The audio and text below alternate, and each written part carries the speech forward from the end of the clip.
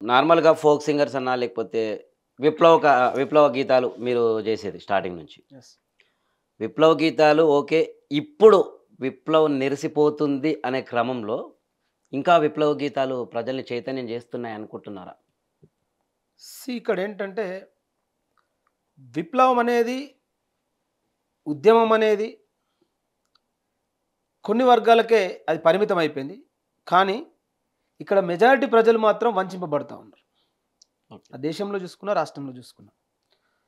So నిజమైన represent ఈ సమాజానికి అందట్లేదేమో అనేది నా చిన్న బాధ.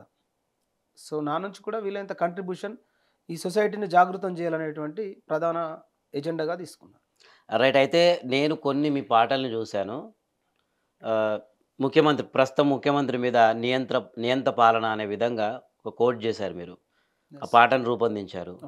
ఏంటి ఎందుకు అంత అంటే ప్రత్యేకంగా ఏదన్నా మామూలుగా ఎవరైనా చేపిస్తే రాసిన పాటనా?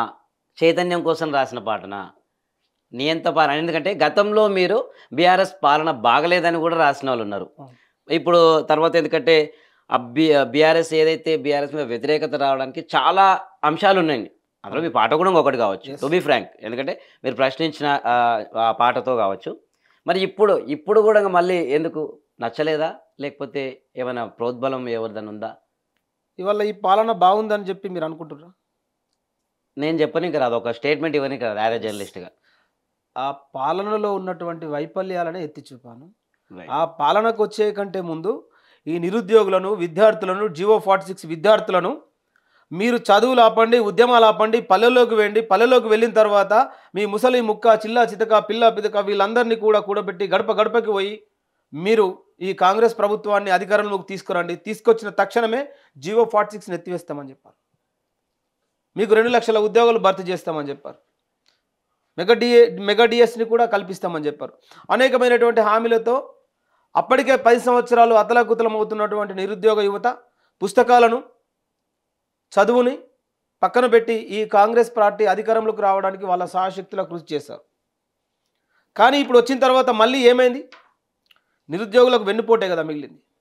జియో ఫార్టీ సిక్స్ విద్యార్థులను అగమ్య గోచరంలోకి కదా నెట్టింది మెగా డిఎస్సిని మోసమే కదా చేసింది.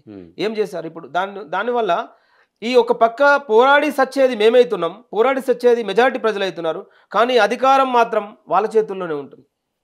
పేర్లు మారుతున్నాయి కానీ వాళ్ళ చేతుల్లో ఉంటుంది. సో ఆ యొక్క కుట్రల్ని వాళ్ళు చేస్తున్నటువంటి వైఫల్యాల్ని నేను ఈ తెలంగాణ బిడ్డగా ఈ తెలంగాణ అస్తిత్వాన్ని ఆత్మగౌరవాన్ని ఈ సమాజానికి అందించే దిశగా నా పోరాటాన్ని కొనసాగిస్తున్నా కాబట్టి నిజాన్ని నిర్భయంగా సమాజం ముందు ఉంచదలుచుకున్నాను ఉంచాను. ఒక్కసారి మా ప్రేక్షకుల కోసం ఆ పాట.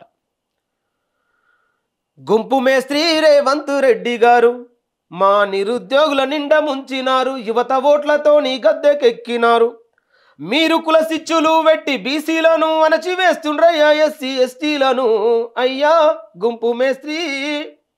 గడికొక్క కండువ పూటకో పార్టీలు మారినొల్లే మళ్ళా ఎమ్మెల్యేలు అయ్యిండ్రు ఏళ్ళ నుండి పాలనేలింది మీరైతే తరతరాలుగా నలిగి సచ్చేది మేమయ్యా.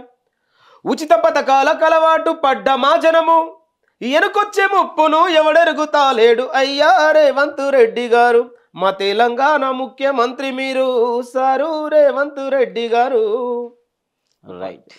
అదే అర్థమవుతుంది. పార్టీ ఫిరాయింపుల అంశం కూడా మీ పాటలో స్పష్టంగా కనిపిస్తూ ఉంది. అదే తాజాగా ఇన్సిడెంట్ అదే పార్టీ ఫిరాయింపుల మీద మామూలుగా యాజ్ ఏ సామాన్య జనంగా ఒక పాటగాడిగా కాకుండా సామాన్య జనంగా ఇంకా అందులో నుంచే మనలాంటి ఉద్యమకారులు కావచ్చు వీళ్ళందరూ పుట్టుకొస్తారు. ఈ పార్టీ ఫిరాయింపులను ఎట్లా చూస్తారు? ఎందుకంటే ఒక పార్టీ మీద గెలిచి ఇంకో పార్టీలోకి వెళ్ళి తాజాగా చూసిన ఇన్సిడెంట్ ఏంటంటే ఒక ఎమ్మెల్యే ఇంకో ఎమ్మెల్యే మీదకి పెద్ద కాన్వాయ్ వేసుకుపోయిండు. ఇది ఏ రకమైన సంస్కృతి తెలంగాణలో అని మీరు అనుకుంటారు మరో బీహార్ను తలపిస్తుంది అనుకుంటున్నాను. మరో బీహార్ని తలపిస్తుంది తెలంగాణ అనుకుంటున్నాను మీరు ఇంతకుముందు చూసిన రాజకీయ నేపథ్యాలు కావచ్చు తెలంగాణలో అటు ఉమ్మడి ఏపీగా ఉన్నప్పుడు కావచ్చు తెలంగాణ వచ్చినాక కావచ్చు ఇటువంటి సిచ్యువేషన్ ఎప్పుడైనా మీరు చూసారు ఎక్కడైనా సరే. సో నేను ఏమంటానంటే ఇవాళ ఈ నాయకుల కోసం పార్టీల కోసం కంటే ముందు ప్రజాస్వామ్యంలో ప్రజాస్వామ్య విలువల్ని కాపాడాలని చెప్పి నేను ప్రతి ప్రగాఢంగా విశ్వసిస్తా. ఉమ్, ఒకటి ఏంటంటే పార్టీ ఫిరాయింపులు అనేది అప్పుడైనా ఇప్పుడైనా ఎందుకనంటే ఇవాళ ఏ పార్టీలో చూసుకున్నా అధికారం పోతే ప్రతిపక్షం ప్రతిపక్షం పోతే అధికారం. కానీ వాళ్ళ దగ్గరనే పదవులు ఉంటున్నాయి కానీ కింద పోరాడి సచివాళ్ళు పన్నెండు వందల మంది బిడ్డల పాలన బలిదానాలు. ఇవాళ ఆ ప్రభుత్వం గుర్తించలేదని ఈ ప్రభుత్వం తెస్తే ఈ ప్రభుత్వం ఏ అమరులకు గుర్తించింది? ఇవాళ దొంగలకి దొంగ నాయకులకి గడికొక్క కండువ పూటొక్క పార్టీ మారేటువంటి నాయకులకి పదవులు అప్పచెప్పింది. వాళ్ళ సుట్టపొల్లకి వాళ్ళ వర్గపుల్లకి తెలంగాణలో ఉన్నటువంటి గవర్నమెంట్ సెక్టర్లో ఉన్నటువంటి పోస్టులన్నీ కూడా వాళ్ళ కులపొల్లకి వాళ్ళ సుట్టపొల్లకి కట్టబెట్టింది తప్ప ఇందులో నిజాయితీగా పోరాడిన వానికి ఎవరికైనా గుర్తింపు ఉందా? కనీసం అమరుల త్యాగాల్ని స్మరించుకున్నటువంటి చరిత్ర ఉందా? కాబట్టి ఇక్కడ నేనేమంటానంటే ఫస్ట్ తిరుగుబాటు బెదిరించేవాడు లేకపోతే ఎదిరించేవాడి రాజ్యం అవుతుంది. కాబట్టి తిరుగుబాటు అనేది ఈ గడ్డ కొత్తేం కాదు.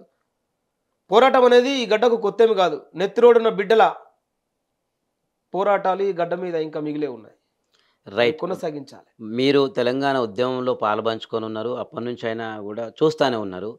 అయితే తాజాగా కాంగ్రెస్ ప్రభుత్వం ఏర్పాటైనాక కొంతమంది పేర్లు ఏదైతే బయట ఎందుకంటే తెలంగాణ ఉద్యమమే ఈ ప్రాంతం వారికి మొదటి ప్రాధాన్య ప్రాధాన్యత. పెద్ద పెద్ద పదవులు కావచ్చు లేదా కొన్ని సెక్రటరీ పదవులు చైర్పర్సన్ పదవులు కొన్ని ఆంధ్ర వాళ్ళకి ఇస్తున్న పరిస్థితి. అంటే ఇక దీన్ని ఎట్లా అర్థం చేసుకోవాలి మనం?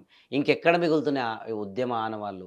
అందులో భాగంగానే అందులో దాని కనెక్టివిటీగానే సెక్రటరియట్ ముందర కూడా రాజీవ్ గాంధీ విగ్రహం అనేది పెద్ద దుమారం లేపిన సంగతి మీకు తెలిసిందే. ఒక ఉద్యమకారుడిగా ఈ రెండింటిని ఎలా నిర్వచిస్తారు మీరు?